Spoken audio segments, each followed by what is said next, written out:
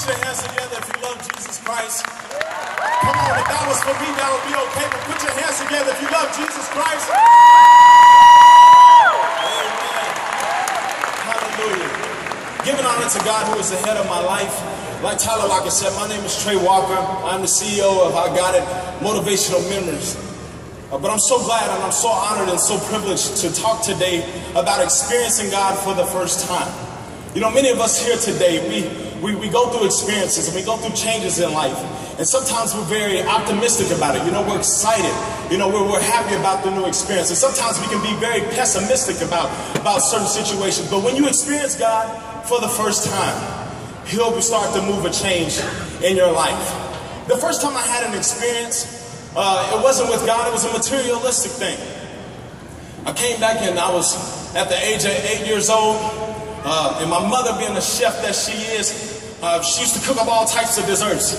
And me being who I am, I, I, I would eat them all. I would tear the kitchen up. She couldn't feed me enough.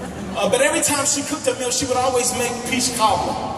Some of y'all folks out there, y'all know what peach cobbler is. Good to your soul, good to your heart. But at the age of eight, I, I, couldn't stand peach cobbler. Every time we had a meal, we had peach cobbler. Fourth of July, Mama was gonna make a peach cobbler, and I started to get to the point where I, I can't stand peach cobbler. But I had one problem. It was that I hadn't tried it for myself. and so one day I kept on talking. I said, you know, you know, I'm tired of y'all eating peach cobbler all the time. And my mom, she said, I have something for you. So I went to bed that night, and, and the next morning I woke up, I smelled something so good in the kitchen. So I rushed downstairs to see what it was, and my mama told me to sit down. She said, boy, sit down, I got something for you. We're gonna figure this out today. And so she opens up the oven, and she pulled out a peach cobbler. I looked at her, I said, you know I don't like that peach cobbler. Why in the world you make me a peach cobbler? She said, I'm tired of you talking about it. And so today you're going to experience it for the first time. And if you like it, then great, because we don't have to hear about you talk about it no more. But if you don't, then that's your own personal decision. You know how sometimes we go through experiences in life and, and we've never been through it, we've never done it before, but we'll talk about it and, and we'll get in that experience and we'll say, well, I, I can never see myself doing that and I, I can't stand doing that. But until we try it for ourselves, sometimes we realize that, that what we once talked about finally starts to change. And so I'm sitting at that table and got a spoon in my hand and she sets this peach cobbler down and it, it looks like some straight off of a movie. You know, you can see the steam coming up from it. And then I turn around and I looked at the flake on it and, and some of y'all country folk know what I'm talking about. The, the crust on it was so flaky. It looked like she put about three or four, five sticks of butter on it. I said, oh my God, that peach cobbler don't look like the last ones. So I sat there, I said, okay, mom, grab the spoon, I'm getting ready. She said, no, I want you to wait a minute. And she went to the freezer, and she pulled out a big old tub of Blue Bell ice cream. All right, all right, all right. Some of y'all know what I'm talking about. You know the motto, Blue Bell tastes just like the good old days. And the Blue Bell ice cream was so cold, the frost started to come around the tub. I said, oh my God. She sat on the table next to that peach cobbler. And so I grabbed my spoon and I I headed towards that peach cobbler and I stuck it down in that spoon and I tasted it. I said, oh my goodness, this is the best thing I ever had. I don't know why in the world I ever talked about it. I wasted my breath, but but I tell you what, today I'm a believer. I, I love it. Every chance they talk about it. And so I didn't stop there. You know, like I said before, we country folks. I took that peach cobbler and I dipped some out and then I started dipping that spoon in that Blue Bell ice cream and I kind of mixed it together. And I stuck it in my mouth and I started eating. I said, oh my God what has happened in my life? And I sat there in that kitchen, I said, from this day forward, if I don't try it, I'm not going to talk about it no more. Experiences. Experiences of a lifetime. And so then time moves forward and time goes on and I get the opportunity and I get the blessing to play football at Kansas State University. We got some Wildcats out there. Home of the baddest boys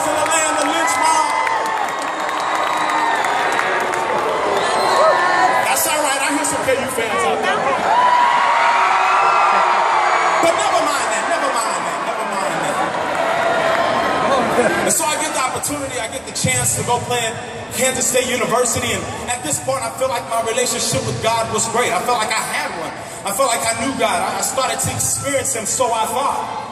And so I got there and I professed it in my faith. I said, I'm a Christian. I want, I want everybody to know on the team that I'm a Christian. I'm a, I'm a child of God. And, and I thought I had it all figured out. You know, I'm the son of a well-known pastor here in Kansas. And, and, and I have a great family. And we go to church every Sunday.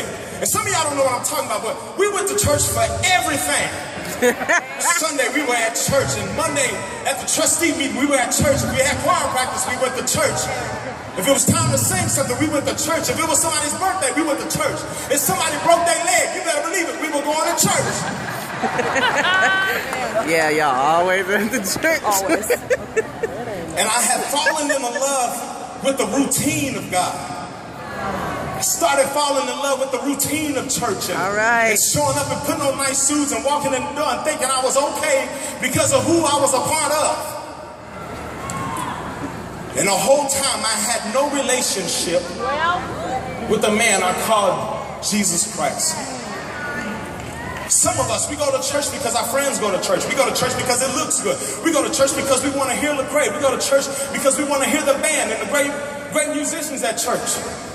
But I stop by to tell you, if you get in trouble with the routine, if you fall in love with the routine, then you will never get a relationship with God. Right. A relationship. And so I sat there and I got to college and I was telling everybody how I was a Christian. Great teammates like Lockett, my best friend, come up to me and say, you know what, buddy? I'm so glad to see another Christian on the team. Why don't, why don't we go to Bible study and, and why don't we go learn about God more? I said, no, man, I got it. You know, I'm okay. I already know about Daniel and the lion's den. I already know about David and Goliath. You know, y'all go ahead. I'll catch up with y'all. I'm gonna go party. Then I had teammates like Collin Klein, and he'd come up to me, man, and say, We're having 180, we're talking about Jesus Christ. I want you to come be a part of it. I want you to come share the experience. And I said, No, man, I already know about Samson and Delilah. I can name the books of the Bible from A to Z. I think I'm fine. I think I got my relationship. You know, I was ignorant. Sometimes we think we know everything about the Bible when we really know only two scriptures. Sometimes we think we got it all figured out, but God is really the one that's keeping us when we are a mess. Woo! So I turned around and I just knew I had it figured out. And one day I opened up my eyes just like that and things began to change and things started to corrupt in my life.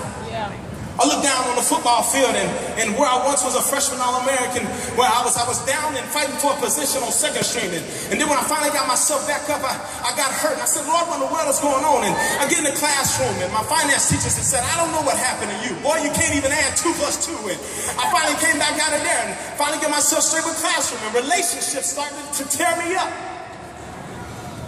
And I said, God, what is going on? And that's how it is. We get comfortable with our relationship with God. We get comfortable.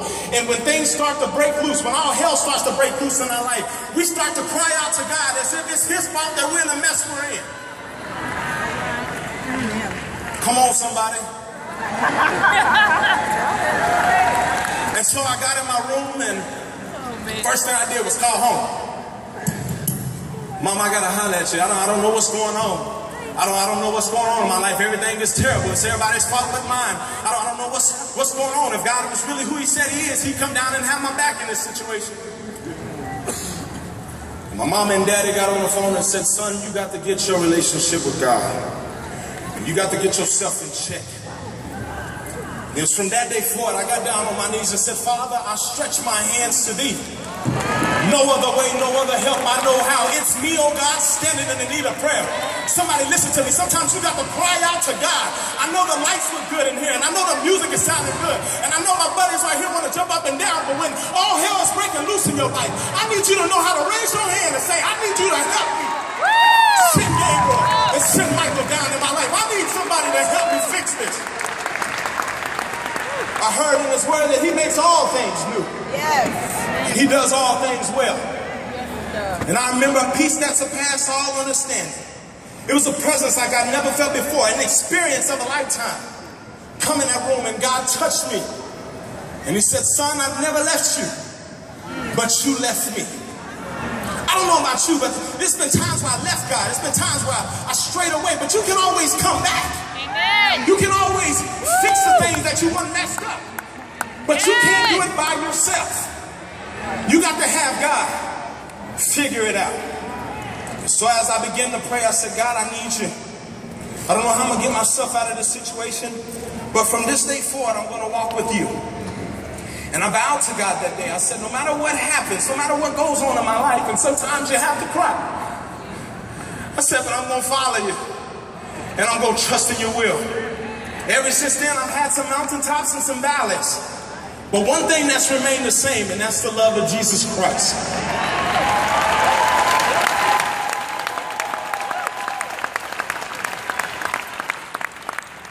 So with that being said, I want to leave you with a story.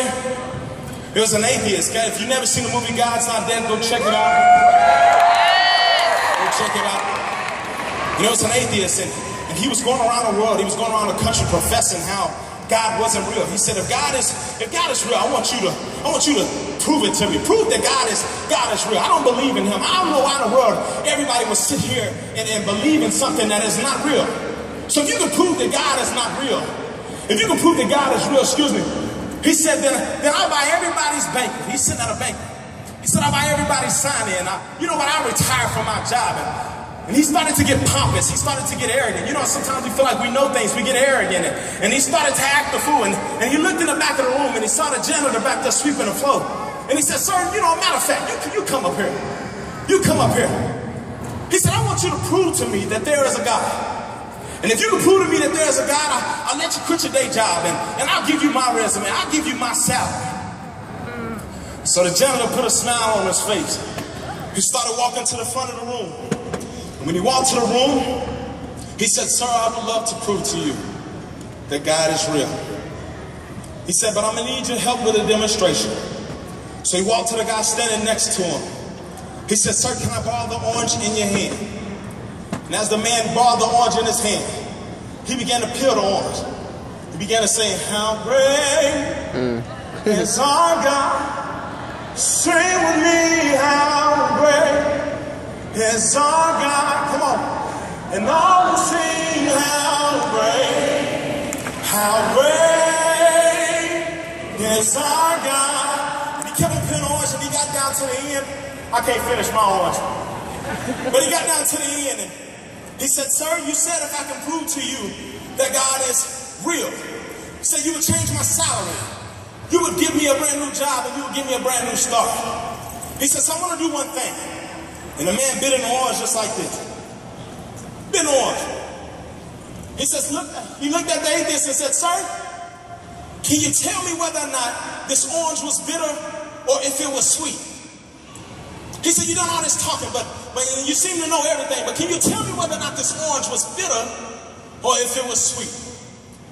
Atheist sat there puzzled. He said, I, I don't know. How in the world would I know? How in the world would I know if, if that orange is bitter sweet? I haven't tried. It.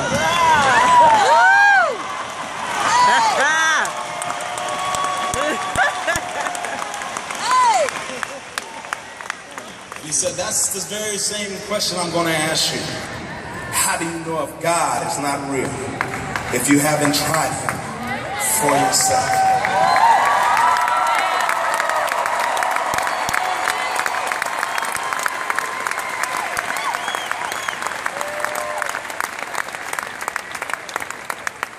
I know we're at the Lecrae concert and I'm gonna hurry up so he can get on stage. But I'll tell you this.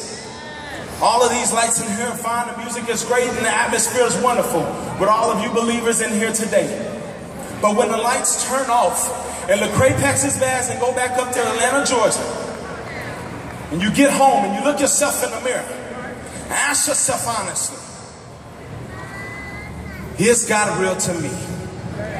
Look at yourself and say, do, do I really have a relationship? With him? Or was I just there because, because it was fun to go to, because it was just another concert? With that being said, I have one last question for you. This one's I just bit in, was it bitter or was it sweet? God bless you.